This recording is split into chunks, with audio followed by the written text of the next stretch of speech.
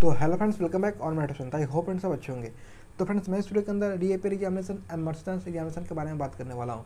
तो जो भी बच्चे हरियाणा से डिप्लोमा डिफार्मा से डिप्लोमा किए, दोस्तों, अगर आप पास आउट बच्चे हो मर्चेंस वाले बच्चे हो या डी वाले बच्चे हो तो आपको दोस्तों पता हुआ कि एच एस बोर्ड का जो रिज़ल्ट था, वो डिक्लेयर हो चुका है। इनमें बहुत सारे बच्चे का क्वारी आ रहा था, मेरे पास कॉल भी आ रहा था कि सर, इनका एग्जामिनेशन कब हेल्ड होगा? इनका पीसीए फॉर्म कब से भरे जाएँगे? पीसीए का चार्ज क्या रहने वाला है? तो मैं A to Z reappear and mercy chance examination का ए टू जेड इन्फॉर्मेशन देने वाला हूँ। अब घबराने की बात नहीं है। अगर आप चैनल पर नए हो तो चैनल को सब्सक्राइब करके बेल आइकन प्रेस कर देना।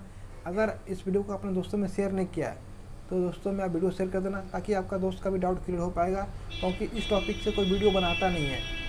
जो बच्चे री अपेयर के हैं मर्सी के ऊपर है तो इस टॉपिक के ऊपर किसी का ध्यान ही नहीं जाता। एक्चुअली कोई यूट्यूबर या कोई टीचर वीडियो नहीं बनाता हो, बनाता है। तो मैं आपको इस वीडियो के अंदर अच्छे से समझा दूँगा। तो रिक्वेस्ट है कि आप वीडियो को कम्प्लीटली लास्ट तक देखना। तो लेटर स्टार्ट द वीडियो दोस्तों, मैं बताता हूँ कि जो री अपियर और मर्सिचांस का जो बच्चे हैं, चौदह या चौदह से पहले वाले बैच के बच्चे, चौदह, तेरह, ग्यारह, बारह, उन्नीस सौ अंठानवे, छियानवे, किसी बैच के बच्चे हो तो इनका एक ही क्वारी था कि सर, जो पी है, कब निकलेंगे? तो एक मैं बता दूँ कि जो बच्चे अभी तक पी अप्लाई कर चुके हैं, जो सत्रह, अठारह बैच वाले बच्चे का री अपियर था, जो बच्चे पी अप्लाई पहले किए हैं, उन बच्चे को पी अप्लाई नहीं करना है। और जो बच्चे पी अप्लाई नहीं किए हैं मतलब जो बच्चे मर्सी वाले बच्चे हैं, चौदह, तेरह, बारह, ग्यारह बैच वाले वो बच्चे पी अप्लाई नहीं किए हैं तो आपको एक परसेंट भी घबराने की बात नहीं है। आपका पी दोस्तों, चार या पाँच तारीख को आपका पी फॉर्म आ जाएगा और आपके जो पी का नोटिफिकेशन है, वो एच के वेबसाइट पर ज़रूर आएगा। और दोस्तों, मैं तीन, चार चार, पाँच तारीख इसलिए बोल रहा हूँ, क्योंकि एच एस बोर्ड का जो रीचेकिंग का रिज़ल्ट है, वो तीन या चार को आ जाएगा। जैसे ही रीचेकिंग का रिज़ल्ट आता है, उसके बाद उसके बाद दोस्तों आपका पी फिल होना चालू हो जाएगा। का रिज़ल्ट चार या पाँच को आएगा जैसे कि मेरी कॉलेज में बात हुई है, मैं आपको जो बातें बताता हूँ हंड्रेड परसेंट रियलिटी और फैक्ट का बात बताता हूँ। जैसे मैंने आपको बताया था पिछले पिछले वाले वीडियो में रिज़ल्ट वाले वीडियो में कि जो आपका रिज़ल्ट अट्ठाईस या उनतीस को आ जाएगा।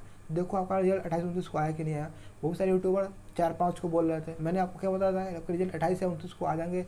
रिज़ल्ट बन चुके हैं। कॉपी शिफ्ट वाइज चेक हुआ था। मैंने आपको बात बताई थी कि नहीं? तो इसी तरह जो आपके पी का फॉर्म है, वो पाँच तारीख को देखने को मिल सकता है, पाँच या छः को। पाँच या चार या पाँच को जो बच्चे अप्लाई करेंगे रीचेकिंग और रिवोल्यूशन का, उसका रिज़ल्ट आएगा। उसके बाद पाँच या छः तारीख को आपको पीसीए का फॉर्म देखने को मिल सकता है और डेट शीट आपके साथ से लेकर दस से ग्यारह तक date sheet upload H K website पर हो जाएगा। तो आपको एक परसेंट भी घबराने वाली बात नहीं है। आपका पी सी पाँच से लेकर छः तक आ जाएगा और आप पी सी ऑनलाइन ऑफलाइन दोनों मोड में भर सकते हो। मैं लिंक दे दूँगा डिस्क्रिप्शन में। कि मैंने इसके ऊपर ऑलरेडी वीडियो बना चुका हूँ पी फिल कैसे करना है तब उस जाकर, उस वीडियो को जाकर चेकआउट कर लेना कि आपको पीसीए कैसे भरना है ऑनलाइन ऑफलाइन उसका लिंक डिस्क्रिप्शन में आपको मिल जाएगा। लेकिन दोस्तों, मेरा सजेशन है कि आप पीसीए ऑफलाइन ही फिल करो, क्योंकि आप मर्सी वाले बच्चे हो, आप इतना रिक्स मत लेना, ठीक है? अगर आप एक बार रिक्स लेते हो तो आपका करियर ऑलरेडी ख़राब है और और भी ख़राब हो जाएगा। तो मेरा ओपिनियन है कि आप पी ऑफलाइन मोड में ही फिल करना। अब पी का चार्ज क्या है? पी का चार्ज पता है, जो मर्सी वाले बच्चे हज़ार रुपये पर सब्जेक्ट है, पर सब्जेक्ट हज़ार रुपये और जो जनरल वाले बच्चे हैं, उसको ऑलरेडी पता है, साढ़े तीन सौ रुपये पर सेमेस्टर।